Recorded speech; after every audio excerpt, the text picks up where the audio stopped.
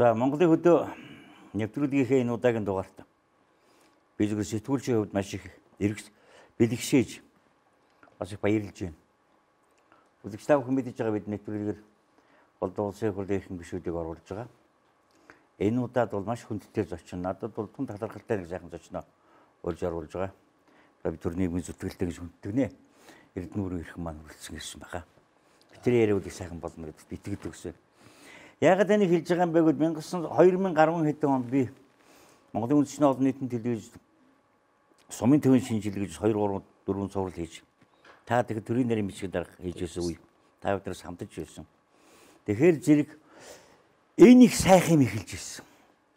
Алга болоо гэж чинь алга болоог байна. Би нэг барилж байна. Давсан мос ярихгүй тэр хамаагүй. Тийм учраас энэ сумын төвийн шинжил гэж таны толгой юм уу та бүхний бод бодсон бодсон энэ бодлоос ойлоо ярих хүү. Сумын төвөн бид нар заримдаа тодорхой юм дээрс ярьж байгаа. Наа ерөнхийд нөдөө яг бай гэдэг байхгүй. Тэр үед бот тэр ярьжсэн тэр үед бас эхэлсэн байсан сумын төвийн шинжилгээ ажлыг үргэлжлээд явж байгаа. Одоо ч гэсэн үргэлжлээд одоо улам бүр одоо өргөжөөд маш олон газруудад өөр аймгийн олон сумдууд одоо тэр үед бол дунд гуйн 3 сайхан тал бидэд сумын шинжилгээ эхлүүлээд ярьж исэн. Одоо бол их олон сумдуудад хийгдэд үргэлжлээд явж байгаа. Бишээ олон хүмүүс ойлгодог болсон. Энэ ер нь яагаад энэ сумын төвийн шинжилгээ ажил руу орсон бэ гэхээр энэ бүр нэлээд дээрийн одоо 10 хэдэн жилийн өмнө анх тэр 2004-өөс 7 онд Чингэлтэй дэргээс сонгогдсон. Залуу хамгийн залуу их хурлын гишүүн гэдэг. Явж байгаа. Тэгээд 2008 оны сонгуулиар манай намынх намайг дунд гойроо явж дэвш гэдэг даалгавар. Тэгээд 7 оны үед энэ дунд гойн хэдэн сомдуудаар яваад. Тэгээд явсан чи ерөөс нэг л тийм тоох шин жалгаа. Тэгээ юу хийх вэ яах вэ гэдэг таалагдах гээд байна шүү. Тэгээд нэг гадны Туркийн олон улсын байгууллаганд хандж жагаад гадна гэрэлтүүлэг хийчихвэл гоё болох юм. Яг тэгэхээр ингээд сумдуудаар тойроод яваад үзсэн чинь дандаа харанхгүй. Тэгэхээр нөгөө олон улсын байгууллага хандж байгаад бас нэлээд хэмжээний төсөв мөнгө олж яваад тэгээд гэрэлтүүлэг хийсэн. Тэр үед дундгойн юу ч нь бол хоёр тойрогтой байсан. Тэгээд зүүн талын сумдуудаар гадна гэрэлтүүлэг хийгээд тэгтээ нөгөө өөрөө таалагдах гэж байгаа учраас тэнд байгаа хүмүүсийг ерөөсөө өөрснөө оролцох байр өдр гэж хэлж чадахгүй. За тэгээд ер нь бүх ажлын одоо шуудны одоо кабелийн шуудны нөхрийг авах хүмүүсийг хүртэл Улаанбаатараас авчиж жагаад. За нөгөө гэрлээ асаалаа гадна одоо нэг сум дээр нэг 20 30 гэрэл асаад. За энэний дараа нөгөө гэрлээ хүлээлгэж өгөх гэсэн чинь хүн цуглахгүй. Тэгээ концерт авч яваад дахиад. Тэгээд нөгөө гэрлээ хүлээлгэж за яг тэр хүмүүс ч нөгөө гэрлийг нэг тоож байгаа юм нөгөө концертээ үзчихэл. За тэгээд нэг хэдэн сарын дараа дахиад тойрсон. За одоо бол гэрэл асаацсан гоё болцсон. Одоо Эрдэнэ бүрийн хэрэглэр бас маш тайхан хүлээж авч маваад айгүй бол одоо их баярлалаа баярлалаа гэж хэлэх байх гэсэн тийм хүлээлттэй дахиад тойрсон. Тэгсэн бүгд унтраацсан байсан. Яасан бэ гэсэн чи энэ чинь гэрлийнх нь мөнгийг бол төлж чадахгүй. Чадахгүй байна. Чи одоо өөрөө асаасан юм бол өөрөө гэрлийнх нь мөнгийг төлгээд сум. За тэгээд тэр гэрлийн мөнгө ээж төлөөгүй. Тэгээ ер нь нэх бодлого хэдхэн сарын дотор бол устгасан. Аа гэрэлтүүлийг. За тэгээд тэр үед юу гэж бодсон бэ гэхээр зөвхөн одоо тэр үед хийсэн тэр төсөл биш. Одоо ер нь улсын төсвийн хөрөнгө оруулалтаар хийж байгаа энэ бүх ажлууд нэг л биш байна. Их хол байна. Нөгөө иргэдээсээ тэнд амьдарч байгаа иргэдэн нэг хол байна. Өөр юмсэг байна. Сэтгэлгээ нь өөрчлөгдөхгүй болохгүй юм байна. Одоо ч бид нар жилдээ нэг 3 их 80 4 их 80 төгрөг орон нутгаар ингээд хөрөнгө оруулалт гэж хийгээд байгаа шүү дээ. Маш их мөнгө хийж байгаа. Ихэнх нь их үр дүнгүй болж байгаа. Цаашаа авч авч чадахгүй байна. Өөр юмсгүй байна. Тэгэхээр энэ орон нутагт амьдарч байгаа тухайн орон нутагт амьдарч байгаа тэр сумын төв аймгийн төвд амьдарч байгаа тэр иргэдийг өөрсдийн оролцуулах тэр хийж байгаа бүтээн байгуулалт энэ бүхэнд энэ орон нутгийнхаа хөгжилд одоо хандах тэр сэтгэлгээг нь өөрчилж хамтарч нийлэхгүй бол бүтггүй байна гэдэг бодол тэр үед одоо төрсөн. За ингээ явж байгаад 12 оны сонгуулиар барилгын яамны төрийн нэрийн бичгийн дараагаар томилогдоод тэгтэл яг тэр үед бол бас нөгөө сумын төвийн шинжилгээ ажлууд явж исэн. За хийгдэж байгаа ажлуудаа харахаар яг л нөгөө миний нэг болохгүй байна гэж бодож исэн зарчмаар яваад байгаа харагдсан нэг л юм. Дээрээс нь юм гуйсан шинжтэй нэг тендер мендер тэр нэг л тийм хоол хөндөй иргэдэн оролцож байгаа зүйл байхгүй. Юу болж байгааг мэдэхгүй мэдээлэлгүй. Тэгээ ялангуяа манай одоо гişүүд чинь бол би хийжгүй би хийжгүй л гэл ингээд байдаг тийм тэгэхээр энэ юуг л нэг өөр зарчмаар явуулах өөр нэг юм шин загвар. Ялангуяа тэр орон нутгийн тэр сумын төвийн орон нутгийн иргэдийн тэр сэтгэлгээг нь өөрчилж яаж өөрсдийн нийлүүлж оролцоолох уу? Тэр иргэдийн оролцоо гэдэг юм яаж бий болгох уу? Тэгээ манай нөгөө миний төрсэн сумчин гурван сайхан. Тэгээ яг сумынхнаасаа эхлэе. Тэнд мөнгө төрөв байхгүйсэн усан төс юм тэр. Тэгээ эхэлсэн. Одоо бол ингээд үргэлжлээд бас. Тэжгүй явж байна. Тий. Би одоо энийг бол маш сайн мэднэ.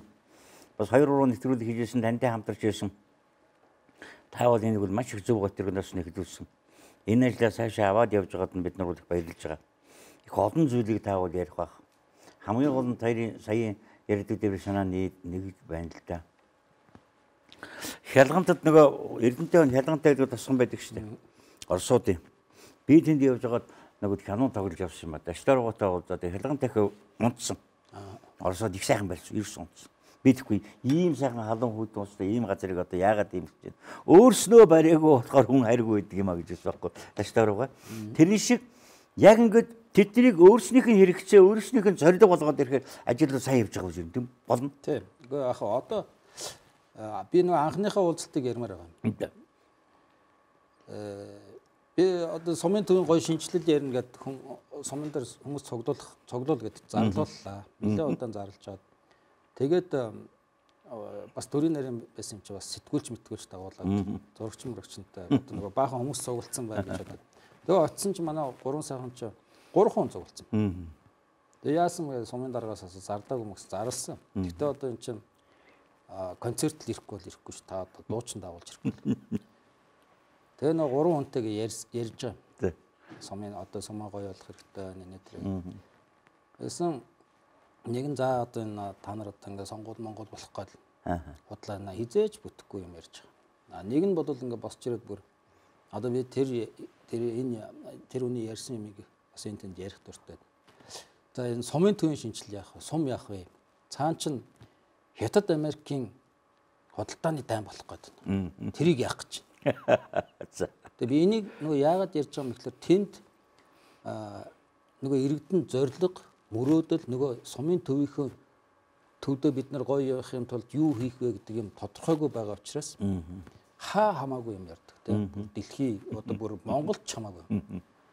Одоо ингээд зарим газруудаар ингээд явж хахад их ажилтай бас гайгүй болж байгаа тийм газруудад ингээд очиод уулзахлаар бүр яг л өөрснийхөө юм яриад одоо тийм зовлон өөрснийхөө өөрсөндөө хамаатай сумандаа хамаатай юм а энийг яах вэ тэрийг яах вэ? Гэх а нэлээд тийм тааруухан дөө газрынхан бодлоор юу ярьж байгаа юм гэхээр үндсэн хуулийн өөрчлөлт.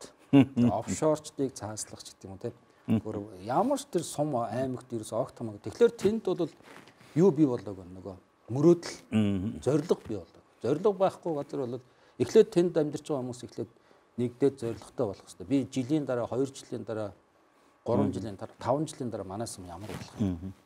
Тэгэхээр эхний ээлжинд тэр нөгөө хандлага гэж яриад байгаа. Тэр мөрөөдөлтэй болох ажлыг бол хийх хэрэгтэй. Нөгөө ажил хийхээс тий. Тэнд байгаа иргэдийг нийлүүлж цуглуулж ярьдаг, хоорондоо ярьдаг, мөрөөддөг.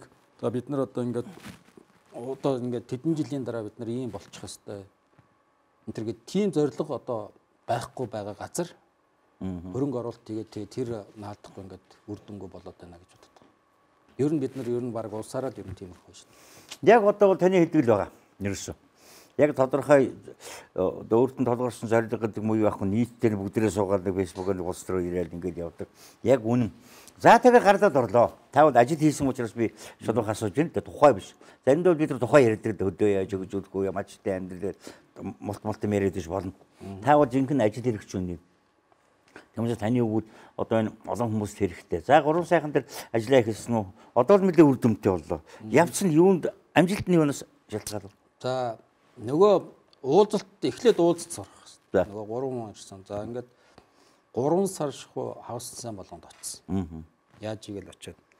Тэгээ ямар ч гэсэн эхний ээлжинд нөгөө заал дүүрдэг болсон. Нөгөө соёлын төв гэж тэрийгэ дүүрдэг. Ямар ч гэсэн сумаар ингээд цуглаад өгдөг болсон. За ингээд цуглаад одоо ер нь хүмүүст нэг юу боллоо шүү дээ. За өмнө нэг юм болох юм байна. Мусах юм байна. чи ингээл яваад байна. Тэгээд цуглаад тэр чинь өөрөөр хэлбэл юм болох гэдэг мэдчихэж байгаа ш оролцоо бий болж эхэлж байгаа. За ингээд төлөвлөлтөө хамт одоо за одоо бид нар ер нь бидний зорилго чи юу юм? Бидний зорилго бол эцсийн дүндээ тэр төсвийн хідэн байгууллага гоё тамгын газар гоё тамгын газартай болох биш. Гоё соёлын төвтэй болох биш. Ерөөсөө бидний энэ амьдарч байгаа орон гэр тэр хашаанда нэгдсэн цэвэг бохирдуулантай л бол болно. Юу нөөц түлхэ байли. Нөхөн жорлонд бийцсгээ байли. Ус мус түрхэ байли. Одоо бидний баг амьдар чинь тийм аймаг хүн. Тэгээ ихэнх нь бол бас үнэмшил муутай. Тэгээ энэ ч одоо энэ насандаа үзэхгүй зүйл байна гэсэн яриа ихтэй. За тэгээд тэр яриа байхгүй болоод ер нь л бид нар бол болох юм байна. Энийг одоо нийлээд хий. Тэгэхээр нөгөө гудамж талбай янз бүр юм аа гудамжаа буулаад зэгцлээд яах хэрэгтэй нөгөө шугамшуулж яах юм. Тэгээд тэрнээсээ эхлэх юм байна. Тэгээ ямар ч хэсэг эхлээд төлөвлөлтөд одоо зурж эхэлцгээсэн. Манай хашаа ийм хэмжээтэй, манайх ийм болоё, тгий ингээ гээд. Тэгээ энэ төлөвлөлтөн дээр бол оролцоод нэгдээд бүгдээрээ санал нэгдсэн. За олон их зөрүү элдвдэдийн буруу яриа хороо ховж их гарна бүтэхгүй болохгүй юм их гарна. За энэ бүхнийг даван туулаад. За тэгээд нэгдэж авсан. За ер нь бид нар хашаануудаа бүгдийн зэгцлээд ийм өнгөтэй болгоо. Ийм хашаа барья. Замаа ингэж татъя. Манайх ийшээ гарч танайх ийшээ энэ төлөвлөлтөө ингээд бүгд тохирсон. За ингээд нөгөө нэх гой мөрөдөлтөй л зүлэг модоо ингээд тарин ингээд бүх зураг мургаа бэлэн болгоо зам харгуу зураг мургаа гаргаад тэгээ үдсэн чинь бол за эхний ээлжинд нэг 3 4 тэрбум төгрөг хэрэгтэй болж таарсан. За энэ мөнгөө олж ирнэ. Олно. Одоо төсвөлөр байхгүй. Тэгээ нэг гой мөрөөдөлтөй болцсон. Одоо бүгдээр нэх гоё болох гэж байгаа гэдэг дээр нэгдсэн. Тэгээ одоо мөнгө олно. Би бол энэ олон улсын байгууллагын ялангуяа төсөвдөр одоо тухайлан мөнгө тавигдаг байгаа учраас мөнгө өгч хүмүүсийг дагуулж ирнэ. За та нар гоё тосч хүлээж авч нөгөө улсуудад энэ төсөл одоо энэ одоо төлөвлөлт бидний хувьд их чухал юм а энэ шинжил гэдгийг ойлгол. Одоо бидний бас нэг олон улсын байгууллага хандивлагч янз бүрийн хүмүүстэй ярихдаа нэг гаргадаг алдаа юу гэхээр зөвхөн дарга уулзаад байдаг тийм. Ийм гоё ийм гоё юм байна дэмжиж гэдэг. Аа нөгөө хүмүүст нь болохоор аль болохоор их нөгөө татвар төлөгчдийн мөнгийг зарцуулж байгаа учраас маш олон хүмүүст туслах. Олон хүмүүс хамрагдахыг хүсэж идэг. Үнэхээр тэр сумаараа энэ шинжилтийг хүсэж байгаа мó гэдгийг л мэдрэх гээд байдаг тийм. Тэгэхээр дагуулж очноо. За нөгөөдөл маань жагсаа зогсож идэг бас. Бүр яг одоо дээрийн нэг социализмын үед одоо том дарга ирэхлээр нэг цэцэг навч ирээд жагсаа зогсож идэг нэг тийм зургнууд байдаг гэсэн шүү дээ. Тийм байсан. Яг л тэрэн шиг бас. За тэгэл бисрэг концерт наадам маадам одоо юу хэлэх гээд гэхээр нөгөө хүмүүст л за эдгээр үнэхээр хүсэж байгаа юм байна. Сумаараа хөдөлж байна. Тэгээ нөгөөдхөө бүгд суугаад хоролдоод тайлбарлана. Дарга зэрэг шийдвэр гаргаж байгаа хүмүүс маш их очсон. За нэгч тийм эсрэг дээд элдв янзын улс төр ярьсан хүн нэг ширхэж гараагүй. Ерөөсөө л алга таашаал тэгэл нэг нь босвол одоо өөр чин энэ хүнээр ийм хийлгүүлнэ гэсэн бол тэрийг л хэлнэ. Өөр юм байхгүй. За энэ бол одоо нөгөө мөнгө босгоход бол маш их үр дүнтэй босголт болсон. Яг тэгэхээр бүгд нийлж хөдөлж нөгөө хандуулах гэж байгаа дэмжих гэж байгаа осууд ойлгуулсан учраас. За ийм учраас бол мөнгө нөгөө бодож исэн 3 4 тэрбум төгрөг маань үтсэн. За ингээд ажил хийсэн. За ажил эхлээд одоо бидний хамгийн их алддаг нэг юм бол ялангуяа төсвийн хөрөнгө оруулалт дээр тавьсан юмнууд хэдэн жил сунж ирдэг. Зураг нь болохгүй, тэр нь болохгүй, хийлэхгүй, хийлгэн. Ингэж явж байгаад нөгөө үний өсөлт мөсөлтөө судаа сүулдэ үнэ дэлгэл одоо ингээд бөө хилэн болж шít одоо тэдэн төгрөг байсан юмыг тэд болгоод нэмчихье гэл. 5 тэрбум байсан чинь сүулдэ 30 тэрбум ч болж байгаа шиг. Тэгээд энэ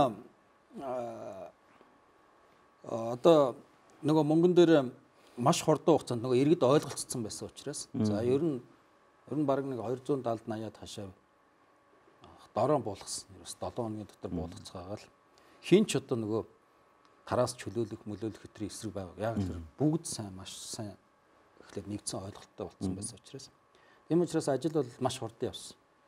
Нөгөө босгон. За сумын ерөөсөө хүүхдээс хөгшин 8 настайгаас 80 настай за энэ одоо цэвэрлэх байгууламж дээр тэдэн төгрөгийн ажил хийх гэж байгаа юм. Тийм болох гэж байгаа гэдгийг мэддэг мэдээлэлтэй байсан. Энэ хүнээс одоо одоо энэ гүр базар даргаас бол тичнээн тэрэн дөрөвний тусал тэтэн дөрөвний дэмжлэг үзүүлсэн, тим юм хийхээр болсон гинлээ гэдгийг бүгд мэдчихэв. Тийм учраас нөгөө элдв янзын худлаа өнөн ховж юм байхгүй болсон. Яг тэгэхээр бүгд мэдээл. За дээр нь бол өөрснөө маш их хэмжээний мөнгө гаргаж ирсэн Карманаас. Яг тэгэхээр бидний төлөө гэдгийг ойлгосон учраас итгэл үнэмшил өндөр болсон. Хашаан дээрээ мөнгө гаргах одоо янз бүрийн 3 4 удаагийн дараалал. Одоо манай 3 сaaхан бол бараг 800 900 сая төгрөг гаргацсан байна. 2500 хүнтэй жижигтрээс уншд. За ингэсэн учраас нөгөө хийж байгаа юмда асар их хайртай болсон. Маш хурдан хугацаанд ажил явсан. За ер нь бол яг хуу тэр хийгдсэн нэг 3 4 км зам мам шугам шүлжээ мүлжээ тэр цэвэрлэх усан сан тэгээд ер нь яг нөгөө манай барилгын салбар ч бас сайн хөгжсөн. Зам харгуу сайн болцсон. Одоо тиймэрхүү хэмжээний дид үтсийн ажил мажил бол маш хурдан хугацаанд хийх боломжтой мөнгө төгрөг байна. Одоо бид нар яагаад хийж чаддгүй вэ гэхээр нөгөө иргэдтэйгээ уулзраа олоогүй байгаа учраас хаанаас эхлэх юм, яах юм, ийх юм бүгд өөр өөр бодолтой.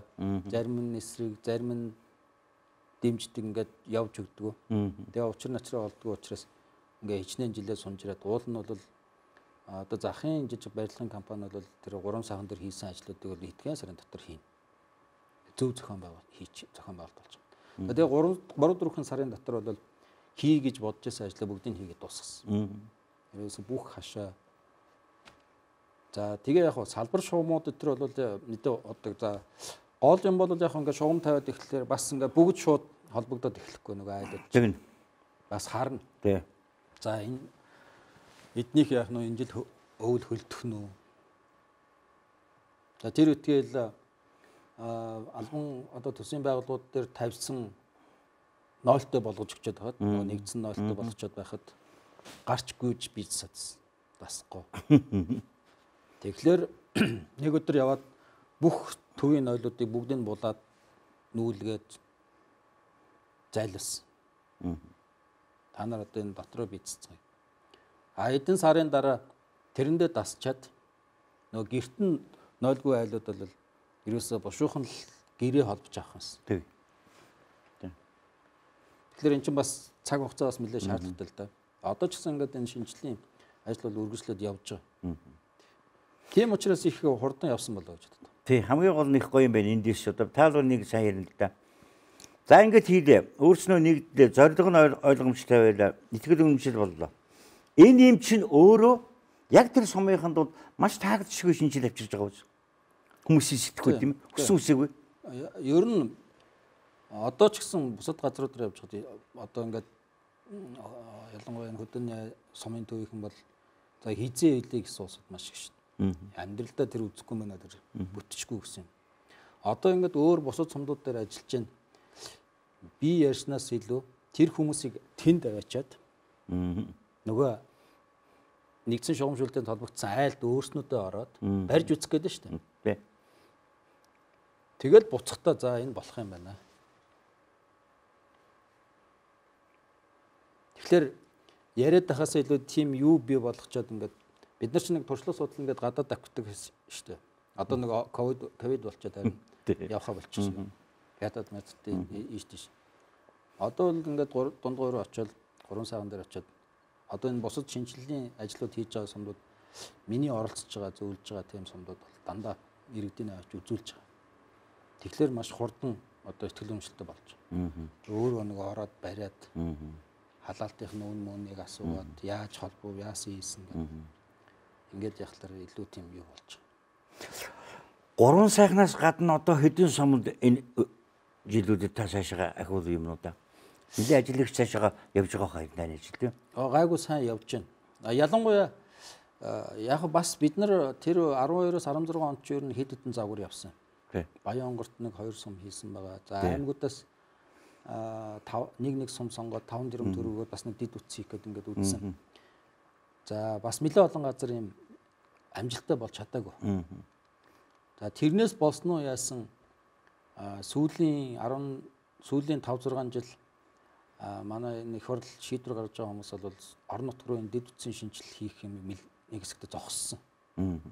Үрдэнгүй байна гэж үз. Тэгээ ноднонгоос нодны өрснөнгоос эхлээд дахиад энэ нэг уран сайхны юмыг очиж үзээд тэгээ бас нэг яваад тахлаар за энэ загвараар бас ингээд цаашаа явуулвал зүгээр нь гэсэн саналтай их хурлын гишүүд шийдвэр гаргаж байгаа хүмүүс их гарсан. За тэгээд ноднонгоос дахиад буцаад санхүүжилтийн хүм тавиад өөр гац бусад янз бүрийн их усрээр за дээр нь тухайн одоо сумдынхан ч гэсэн өөрснүүдээ яваад хөөцөлтөд хэд хэдэн сумдууд явж байгаа. Тэгээ одоо яг ингээд эхний жилийнхээ ажлыг бодтой хийгээ шугамшуулж яагаад тавиад ус одоо нөгөө хэрэглээд эхэлсэн Баянгарын өлзийцсэн одоо намраас эхэлчлээ. Одоо ингээд арханга эрдэнэ мандал ер нь улсын комиссд өгөх гэж эхний жилийн ажил. Гэхдээ эн чинь одоо тийм нэг жилийн бас ингээд шууд шийдэж тий. Өргөжлөөд шат шат шат шаттай бас ингээд яваад байх. Гэхдээ гол нь нөгөө энэ ингээд цаашаа өргөжлөхэд нөгөө тэр сумн дээр амьдарч байгаа иргэдийн тэр нөгөө толгой өөрчлөгдсөн байх л хамгийн чухал нь байгаа даа манай бид нар бол Монголын хөдөө гэдэг нэвтрүүлэг хийж байгаа хөдөө аж ахуйгаа ямар яаж хөгжүүлэх тухай янз бүрийн гой гой саналуудыг хүн бүхнээс сонсч байна л да. Өнөөдөр үл яг олон зүйл ярихгүй малын тарах хүчин тэрэхгүй гэдэг. Яг энэ чухал юм дээр л хожоод ойрч ярина. Тэгээд ерөн зүгээр ингээд яг таны хийж байгаа энэ ажлаас болоод нөгөөдгөөс одоо бидний урдах сайхан туршлага за тэр изм изм гэж битгий бодороо зүгээр одоо лодо хуугаа шиг гэдэг юм уу одоо Минжуургаа шимэн алдартай өдмөрийн баатруудыг харахад яг таны шугамар л явд юм бэл. Яг тэр өөрснийх хэрэгцээнд тааруулаад өөрснийх нь сонирхлоор суморноо хөгжүүлдэг. Ямар сандад одоо сумын өвс алгаад одоо ирсэн чинь налчтай ирсэн хүмүүс хин тэгсэн чинь нэг нөхөр туугаад байна юм. Нөгөө тэгж авчирал өвсний манач болгоцсон чинь өвс ирсэн зүр зүр бол тэр шиг ийм юм өнөөдөр их хэрэгтэй байна. Нэг дээрээс л гүйгдэх гэсэн хүн Эсвэл нэг нэр болох гэсэн хүн. Эсвэл сонгоод өгөхөр ирэхээр бүр энэ хооронд чинь хөгжлөж унгалаа. Тийм үстэй. Та нар босоод ин девачин шиг болгоно гिचгээд байсан ш яг өөрснөөс нь энэ л чухал байгаа юм л да. Яг тэгж харагдаж байгаа. Услж байгаа юм шиг тийм байна. Нэг том юм яриа л эсвэл тэгээд яг одоо изм гэж битэр гэж ер нь яг бид нар чинь бас нөгөө бүр хэцүү байдал руу оруулчлаа да. Нөгөө социализмаас бид нар явсан чинь социализм биднээс явсангүй гэдэг шиг. Нөгөө иргэдийг улам юу болгоод байгаа байхгүй бэлэнчлэх. Одоо гуучин бол бэлэнчлэх, мэлэнчлэх гэдээ баахан шөмжилдэг байсан шүү дээ. Бүүр харин тэр чинь чи зүгээр байжээ. Одоо юм чинь бүгдийг бэлдэж өгнө гэдэг.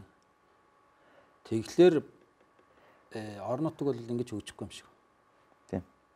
Яг л одоо өөрснөө тэр төрмөр харахаасаа илүү нийлээд эхний ээлж нь нэгдээд тэр нэгддэг бид өөрснийхөө төлөө энэ амьдралаа өөрчлөх ёстой юм байна гэдэг юмыг маш сайн суулгаж өгөхгүй бол аа тэгнэл бэлэн болгож өгнө л гэд яваад ддаг яваад ддаг тэгээд бүр ёстой маш их хугацаа алдчих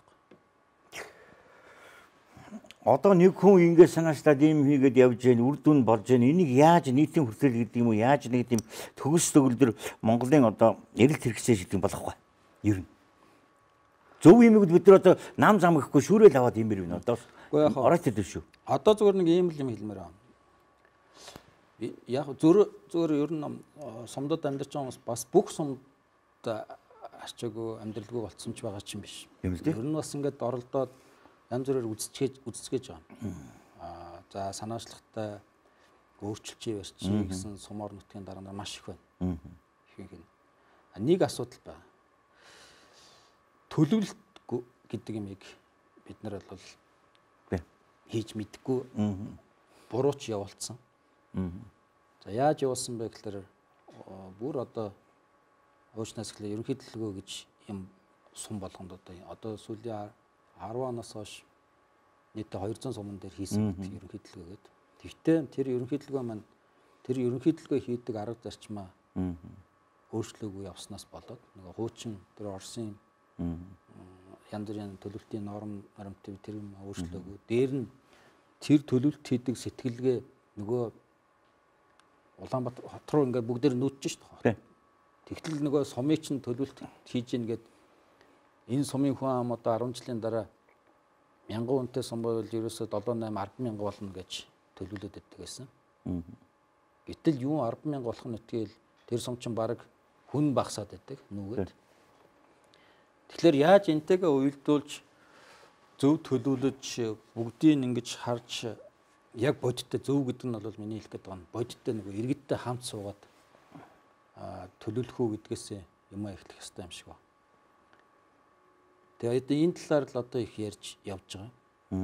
Тэгээ эндээс эхлэхгүй бол бас төлөвлөлтгүй ингээд аж ахуйн аргаар янз бүрийн байдлаар ингээд энэ тэндгөө хийгээд нөгөөдгөө хэд дахин хийх нэг шугам тавьсан бол тэрийгэ дахиж хэд дахиж гаргах шаардлагатай болох тэр ийм өндөртэй юмнууд их гарч байгаа.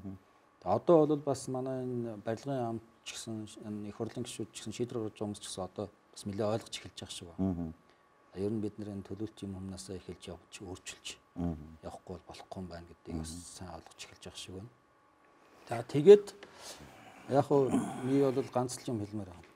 Яаж юу авах вэ гэдэг юм. Ерөөсөө улсаараа бид нар энэ э, тэр хандлага сэтгэлгээ гэдэг юм эхлээд нь толгоогоо Харин өөрчлөхөөс л эхлэхгүй бол би бас яг тийм их бүрэл хасангийн шинжтэй баймирг л. хичнээн одоо ингээл үйлдвэр нэг бүх суманда одоо манай дундуур чинь нэг саяхан эдгээр жилийн өмнө бүх суманд хоёр үйлдвэр байрн марин нэтер гэл нэг тийм.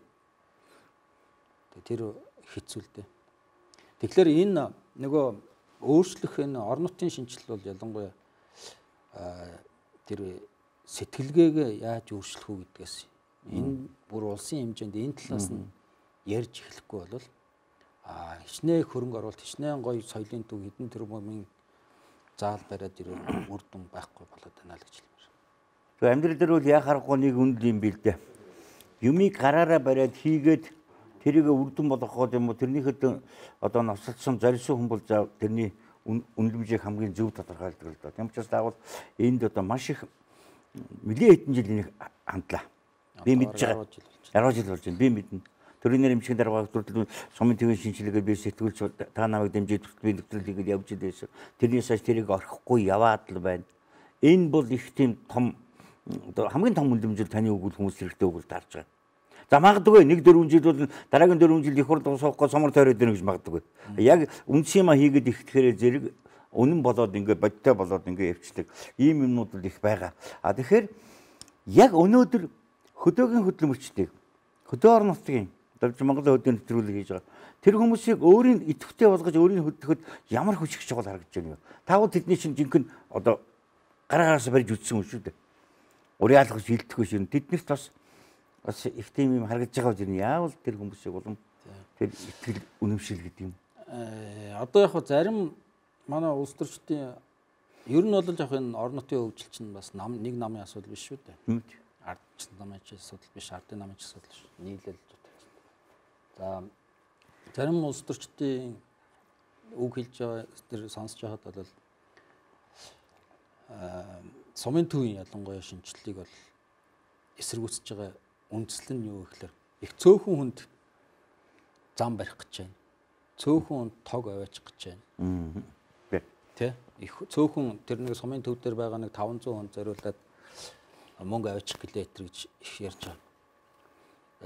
Би нэг нэлээ олон жил ажиллаад эхэндээ бас иймэрхүү бод юм боддог гэсэн одоо хэрэг байгаа юм уу? За гэтэл сумын төв бол ийм сумын төв бол тэр сумын төв дээр амьдарч байгаа хэдэн хүний асуудал биш. Ер нь сумын төвийн иргэдийн 50 60% нь өрхийн 50 60% нь тэр сумыг тойроод амьдарч байгаа малчид юм уу малч тариаланчид байж байгаа. За тэр малчид чинь а тэр төрийн үйлчлэгийг хаанаас авч байгаа гэхээр тэр сумын төвөөс авч байгаа. За их хурлын гишүүдийг очихлоор ялангуяа хамгийн их нэгтгэг юм юу гэхээр сайн эмч тогтохгүй байна. Сайн эмнэлгийн дарга олж өг. Сайн сургууль олж өг. Тэгэхээр Бид нар бол энэ орон нутгийн хөгжлийн сумын төвийн шинжилэл бол юутай холбоотой вэ гэхээр бид нар ер нь цаашдаа энэ бэлчээрийн мал аж ахуй гэж байх юм уу байхгүй юм. Ер нь энийг байлгах юм байлгахгүй юу гэдэгтэй л холбоотой.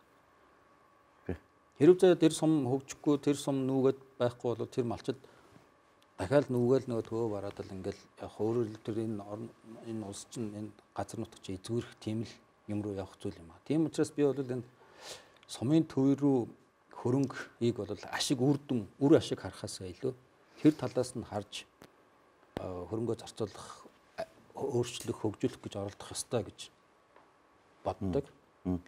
За тийм одоо манай гурван сайхан бол 14 онд сумын сургууль бол 180 хүүхдээс. Одоо 300 340 орчим хүүхдтэй болцсон байна. За энэ хүүхдүүд өөр энэ тэндээс ирүүгүүл тийм биш. Манай сумынхан малчид маань нөгөө сургууль сайн биш байна гэд өөр тийшээ чойр аймгийн төв хот руу зөгөөд идэв гэсэн. Гэтэл тэнд нөхцөл байдал сайжраад ирэхлээр сайн багш нар ирж байна. Галцаа. Тэгэхээр нөгөө сайн сургууль нь хүүхдээ сайн төгсгөөд төгсөж байгаа хүүхд нь сайн сургуульд орж ийн өндөр оноо авч байна. Заавал Улаанбаатар ийш тийш зөөх ямар ч шаардлагагүй болж. Тэгээд нөгөө тойроод бууц юугаа сайжруулад ингээл явж байгаа. Тэгэхээр энэ талаас нь бодоод зөвхөн сумын төв дээр байгаа хүмүүс тэр сумынхаа төвийг өөрчлөх гэж шийд юу байх вэ те. Энэ талаас нь бодоод тэр сумыг тойроод тэр төвийг тойроод амьдарч байгаа малчид ч гэсэн нийлээд хүч чармалт гаргаад явах юм бол орон нутаг бол маш амархан хөл дээр босно. Сайхан байна. Би мэдрээд баярлаад байгаа юм. Танд ярьж байгааг баярлаж байна. За өнөөдөр одоо та бүхэн 2021 он баг дуусч байна гэдэг. 22 он байна. Цаана 22 он, 23 он, 24 он ч гэж байна. Нэг жил ч боллоо. Яг хөндлөгөөс харахад улсраас сууг шүү. Яг одоо энэ э, засаг төр бүгдээрээ хөндлөнгөөс харахад та юм хийж байгаа хүний хувьд бол энэ тэгээсээ гэсэн ямар бодол харагдаж байна гэдэг. Одоо энэ энэ засгийн газар ч юм уу энэ дөрвөн жил тийм ээ 3 жил хөвөн шүү. Орон нутгийн шинжилгээг маш хурдан энэ ялангуяа хурдан хий гэдэг нь нөгөө мөнгө гаргаал ингээл зам хурдан мурдан тавих тэр нөгөө тэр хүмүүсийн хандлага сэтгэлгээг өөрчлөх чиглэлээр ажиллаа. Энэ дээрээ илүү анхаарал хурдан хөдлөх хэрэгтэй. Тэгэхгүй бол бид нар энэ гэр хорооллын энэ нүүдлийг зогсоож чадахгүй. Энэ гэр хороол энэ төвжээ мөгжээ тэр чинь ерөөсөө нутгийн хөгжлөөс эхэлнэ л гэж би бол бодож байна. Одоо суман дээр бас орлого олдгоо суманд аймгийн төвд орлого нэг үеиг бодвол бас хүмүүс их орлого олдог болсон шүү дээ. Уул уурхай ч юм уу янз бүрийн. Тэгээд тэр сумын төв тэр аймгийн төв олигтой биш байхлаар яаж нэхлэр бушуухан хотныг байр аваад том хөвгтөд дагуулаад багчуудын дагуулаад тэгэл нэг пирус авч игэл нөгөө Улаанбаатарын төгжээ нөгөө юу рүүч одоо тооцоо байдсан шүү дээ тэр буян тухайгийн тэнд нэг төрөөсийн орон сууцны хороол гэдэг хороол барьсан. 60 70% орон нутгаас авсан шүү дээ. Тэгээ гэр хорооллоос тийш орж чадаагүй. Тэр юунаас шалтгаалж байгаа нэхлэр ерөөсөө л энэ орно. Тэгэхээр бид нар энэ төгжээ одоо бараг зогсох нь олгүй сая бид нар яа. Энэ гэр орол энэ төгжээ энэ утаа тэ ярих ерөөсөө хамгийн ихний асуудал бол орон нутгийн энэ хөгжил. Орон нутгийн хөгжлөө хөгжил гэхлээр л орон нутгаар зам тавиал нөгөө юу яах гэдгээс мөнгө хаяхаас илүү. Эхлээд тэнд амьдарч байгаа хүмүүсийг яаж нэгдэж нийлүүл зоригтой болгохгүй, мөрөөдөлтэй болгохгүй, төлөвлөгөөтэй болгохгүй тэр хандлагыг яаж өөрчлөх юм бэ гэдэг дээр л анхаараасаа л гэж бодож байна. Миний одоо ганц хүсэж бод дотроо боддог юм бол. Я тэрийг шийдэд авцсан байхад тэрийг нэлээ хөдөлгдсөн байхад бол а бусд нь бол тэр барих хийх нь бол тийм хүнд асуудал биш. Энийг бодохоор бол нэг зөв юмыг яавал 200, 300, 400 болгох уу? Тэрний хэн хэн гэдэг хүн санаачилсан аль намын үед хийгдэж байсан үл хамаарах юмнуудыг л энэ одоо сүүлийн 30 жил бид нар баг хийж ирлээ л дээ. Энийг нэг шүрээ шүрээ даваад явсан Монголын л юм чинь тийм ээ. Улс төрч газар улс төрч гэдэг юм тэр яг. Одоо хамгийн утгагүй юм чинь ингээл нэрийг өөрчлөөд шүү төсөл. Тий. Сумын төвийн шинжилгээ байсан бол сумын хөгжилж. Тэгээ тэглээ гэд ер нь ямар ч байхгүй шүү. Та дэм бодлого тэгэл явж ин нөгөө хүн минийх өсөгээд нөхцөл нөхцөлөд онохгүй шүү дээ. Бодсон санс юм. Одоо цаашаа зорилгоод урам зоригтой байгаа. Тэ ямар ямар шиг хэдийн төрөл байна танд бол. Гэхдээ яг хоо анх тэнд одоо би 3 хүнтэй ярих гэж оролдож байлаа шүү дээ. Тэр 3 маань хүртэл итгэхгүй байлаа шүү дээ. Одоо эдгээр жилийн өмнө. 6 7 жилийн өмнө. Гэтэл одоо 300 мянган хүн баг ойлгодог болсон баха гэж бодож байна. Гоё.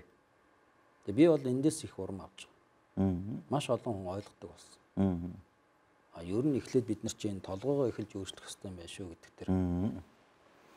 Тийм учраас энэ бол а, энэ ажил бол тэр төрөг яг хөө хизээ нэгэн цагт Монголын орон нутаг бол хөгжид таарна. Аа. Гэхдээ энийг бол хурдлуулах хэрэгтэй.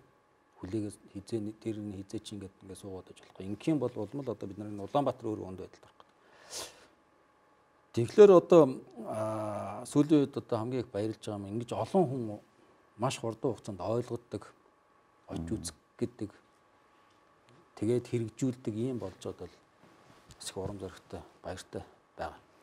Хүмүүс их зөв болоод ирэхээр бас гадна дотны дэмждэг тийм бас гарч ирэх нөхцөл бас хүнд нь хүндлээ бат. Гэхдээ бас арай хэгчтэй байж. Гэхдээ зөв яваад ирвэл тэгээд хөрөнгө оруулалтын дээр бол нэг санаа зовдох юм байхгүй шүү дээ. Ер нь манай Монголын хувьд бол. Аа ганцхан нөгөө хийж байгаа юм нь үнэхээр хүсч хийж гэнэ үү? Тэгэхээр наалдж гэнэ үү? Цаашаа энийг авч явах чадвар нь бий болж гэнэ үү? Тэгээд дээр нь ер нь бидний эцсийн зорилго бол зөвхөн тэр орон нутгийн төв дээр байгаа нэг төсвийн байгууллага захиргаа махиргаа биш. Аа. Ерөөсөө л нэгдсэн цэвэр бохирдууламжтай айл болгон ийм болох л ёстой. Аа. Одоо бид нэр эзүүр зунд амьдарч байна. Зарим нь одоо энэ Марс зарс руу нисээд буцаад ирж байгаа шиг. Энэ юу юу? За ингээд энийг сайхан цаашаа явъя гэж бодоо. Онцлог байна. Говь хээрэн бус, хангайн бус гэдэг юм уу, уулархач гэдэг юм уу. За сумын төв төвийнхөө шинжилгээг сайхан хийхэд сумдууд юм уу тэр бүсийн бас орон нутгийн тэр онцлог бас харагдах байх тийм ээ. Хангайн сум бол нэг одоо хүмүүс нь ч байдаг юм уу, говь ч юм уу. Бас тийм юм бол ер нь яванд бол харагдах байх тийм. Бас байж магадгүй юм тийм. Магадгүй биш ерөөсөө байна. Хангайн бүс өтгөл бүр говийн нэг аймгийн сумдын дотор ч гэсэн өөр өөрийн онцлог байна.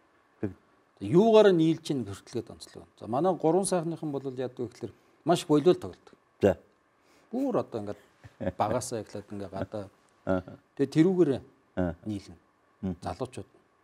Одоо тэр аймгийн авар, улсын авар янз бүрийн юунд нөгөө залуучууд сумаар нөгөө юугаа хараад дэмжил сууж байна. Тэгэхээр энэ яаж нэг юун дээр нэгддгийг гэдэг юм гээд тэр ингээд хараад өөр өөр онцлогтой тийм. Тэгэхээр энэ бүх онцлог одоо тэр нийлж нэгдэх тэр ямар л боломж байна тэр болгоноор л ашиглах хэрэгтэй. Тэр үтгэл одоо зэрэг сумын асуудал нутгийн зөвлөлүүд. Тэр битгээл одоо бид нар жишээл а, шугамшүүлжээ тавьчаад хэрэглэхгүй байх вэ гэж бас санаа зовчихсон. Одоо орлого багтаа юм чинь. Хизээ одоо энэ шугамшүүлжэн дээр хашаанд оруулаад байшин бариад хизээвэ гэсэн чинь маш олон айлууд байшин бариад гэсэн төрийн хүмүүс төр. За энэ хаанаас ингэж юм мөнгө олов гэхээр бид нар чи ерөөсөө орон нутгаас нүүгээд удааг байгаа болсод байхгүй. 10 20 жил. Өсрөөд 20 жил болж байгаа. Нөгөө гадагшаа явсан, сурах гээд явсан, ажил хийх гээд явсан Улаанбаатарт байгаа хүмүүс чинь нөгөө орон нутгад байгаа ах トゥ аав ээж хамаатан садандаа шугамшилжээтэй нэгдсэн дэд үсттэй болоод ирэхлээр байшингийн мөнгө төгрөг янз бүрийн тал талаасаа нийлж байгаа л яачт юм. Яаж игээл барьчт юм. Одоо бас хүмүүс шүүмжлээд байдаг нөгөө. Гэхдээ хизээ байшин бариад юу байх ямар юмараа барих юм гээл. Тийм биш. Тэгэхээр энэ нутаг нутгийн онцлогуд бол шал ондоо. Тэгэн тэгэн. Тэр таны хэлдэг нь сум сум дотор ондоо гэдэг чинь. Тэгвэл ер нь яг ийм ийм ажил хийхээр хөндлөгөөс тавал оюунлог хөндлөгөөс харахад ингээ юм хийгээд өөрснөө өөрснөөр нь урайлаад өөрснөө амьдралынхаа төлөө яваад ирэхээр сэтгэхүйд бас тодорхой хэмжээний шинжил харагдаж байгаа хүмүүс бол ер нь. Аа бид нар бол ийм л явах юм байна. гэж зүгээр би хувьдаа бодсон. Одоо бид нар ингээл шууд үйлдвэрлэл ярьдаг шнэ. Орон нутгад одоо тийм юмны үйлдвэр хий. Арьс ширээ боловсруулад одоо.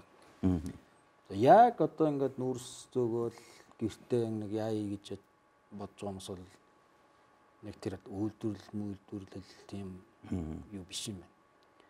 За ус цаасанд ороод завтай болоод галд мал түлхээ болоод Тэ. Тэгээд нэг аштайхан орчинд амжираад за тэр орчин бас мөнгө нэгдэг болоод тэгээд ирэхлээр нөгөө тэрнээсээ буумааргүй шүү дээ. Тий. Тэгээд ирэхлээр за одоо харин юу хийх вэ? Яаж мөнгө олох вэ? Э энэ чинь ингээл шат дараалж явах юм шиг. Тэр чинь өөрийн хөгжүүлээд хөдөлмөрлөлд үүлээд явчих шүү дээ. Хоноо нэг оныгоо байдаг чинь машин авбал зайгуу сайжруулдаг юм л юм тий. Ерөөсө моторлдог гэсэн тий. Улам сайжруулах гэж яваад. Тэр шиг нөгөө тэрнтэй адилхан юм юм улам сайшаал яваад байх нь. Тэгж л өөрчлөгдөх юм. Энэ тэгээд нэг жаахан яваасаа билээ. Таныг бол энэ энэ сайхан үйлчлээ сайхан зүтгээсэй гэж хүсэж байна бид нар. Би сайн мэдэх учраас их баяртай байгаа юм.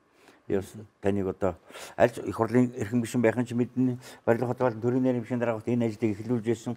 Би танд сэтгэлж яваад олон удаа орж ирсэн учраас маш их баярлалаа дүр. Монголын хөдөө нэвтрүүлэхдээ одоо Эрдэнэ эрхмийг орж хүмүүс сонсхийг гэсэн. Бид нар асуудал төвшүүлээд нэг шүүмжлээд нэг тэгэд байхгүй. Нэг ийм юм байдаг. Зүгээр яг яриах сайхан байна. Хоёрын сан цэрэг багтахгүй юм да. Энэ битрийн сумын төөс гомдоо зүйл шүү. Би сэтгүүлч яваад би тэр өөр юмрууд аялж асуухгүй гэдэг өөрөөс ч асууя. Төвс ингэ төрөглийг хойдлын төрийн талбай гэж өөрөө барьсан тийм. Тий. Талбай одоо тэр чинь 2008 онд. Тий. Гоё санаа тий. Тэр тэр бас тийм шин зүйл биш л дээ дэлхийд. Миний нөгөө сурж ирсэн Туркд бол ингээд маш том томор яадаг. Далбаа босгох. Гэхдээ тэр далбаанд байгаа бол биш. Нөгөө л сэтгэлгээний хувьд л Одоо бид нар чи их оронч моронч гал хятадуудыг зодын модын энэ тэр а тэр хүнд нэг юм бахархах яг нэг нөгөө энэ нутгаар их орон их оронч хүн гэдэг чи одоо нэг юм бахархах юмтай байх хэрэгтэй юм шиг байна. Тэгээ туркууд бол яадаг вэ гэхээр тэр далбаа дороо ер нь нэгдэж яад. Гэхдээ нэгдэж гэн гээд одоо ингээд жагсаад нийлээд хүн зодоод байх штеп. Туркд ингээд хилээр ороод хилийн юун дээр гайл дээр ингээд одоо хилийн нэг тамбууд авдаг шүү дээ. Тэндээс эхлээд ажиглагддаг нэг юм улсаа өөрийнхөө нутаг орноороо бахархсан. Хөгжлөөрөө бахархсан. Аа нэг тийм энэ хүнд одоо яаж энэ юу би л одоо эхлээд ингээ гоё харуулж эхлэх юмсан гэдэг нэг тийм юм мэдрэгддэг. Тэгэл тэр нэг юм хумаа авч цэвэрлж байгаа маа. Нэг хүнд хандж байгаа тэр юм бол. Тэгээ тэрний цаана дандаа нөгөө тэр нэг эх оронч юу гарч идэх. Тэгээ трийг одоо хэлбэрийн хувьд хэлбэржүүлж гаргаж нэгтгэж яадаг юм бол энэ төрийн далбаа төрийн доол би бол төрийн далбаа гэж хэлэх бас жоохон өөрчлөх хэрэгтэй. Үндэсний далбаа. Тий. Гоё үг тий. Үндэсний дуулал ийм байх хэрэгтэй гэж боддог. Үндсүүлийн өөрчлөлт бас оруулж ирсэн гэж бодсон, оруулж чадсан чадаагүй юу нь болоогүй гэсэн. Тэгэхээр энэ үндэсний далбаа энэ нэг бахархдаг энэ юм бид нар бол хуучин бүр ингээд ард түмнээс үндэснээс салгаад авцсан байхгүй юу? Төрийн төрийн талбайч нэг даргын юун дээр байх хэвээр нэг тийм гэдэг. Тэгээ тэрийг өөрчилж тэр үндэснийхээ Монгол үндэсний хэмжээнд энүүгээр энэ талбайгаар бахархдаг тийм хэмжээр авчрах гэхэлэр авчрахын тулд бас нэг янз бүрийн алхмууд хийх томоор мандуулах тэргээд тийм зорилгоор бол тухайн үед мандуулж исэн. Бид баярлдیں۔ Таныг санал зүгээр. Тэрнээс хойш их юу бодог болсон шүү дээ. Манайхан чинь машин дэргэн дээр байгаа. Ялангуяа тэр үед чинь нөгөө тэр яг мандусны дараахан чинь нэг олимпиа аваргууд тэгсэн. Тэгээд энэ МСС-ийн том том байшингууд дээр тавиад. Тэгэхээр тийм зорилготой. Ер нь яг бидний хийх юу бол материалын талаас одоо хөрөнгө мөнгө төгрөг гэж бодхоос илүү илүү энэ одоо сэтгэлгээг өөрчлөх л Яг үнэ. Тав тэр яриг нэг юм дээр туллаа. Тав сайхан хийж байгаа хүмүүс таныг нас манай хүмүүс бас ярьсан дундуур оруулах байх. Тэгээ маш их баярлалаа. Одоо нэг юм байна. Төгсгөл нь би зүгээр танд амжилт хүсэж хэлж байна. Одоо нь Улаанбаатарыг нэг янз янзаар нэрлэдэг. Аз жаргалтай Улаанбаатар, ямар ямар Улаанбаатар, ямар ямар Улаанбаатар гэдэг шиг хөдөөгөө ингээд нэг өмчлөө тийм юм гээд байхгүйгээр үндсэн юм руугаа оруулаад тийм ээ. Яг юу нь вэ нү? Бивнээс асуугаад Эрдмэрийн жиний хийх хэдийм яагаад байна? Яг уу? Ямар сони юм бэ нүгэд уршаа хараад таа ч гэсэн энэ ажлаа хийхгүйгээр энэ хүмүүстэй туслаад тийм ээ? Ингээд нэг уршаа яв явсаа. Монголын хөдөө хөгжүүлсээр гэсэн Монголын хөдөө хөгжүүлэхэд ямар нэгэн хэмжээгээр их шин хиллэг шин бодомж авчирч байгаа юм бол та. Бид тэрд бахархтай нэг хүнд гэж нэвтрүүлэлт орж байгаа. Баярлалаа. За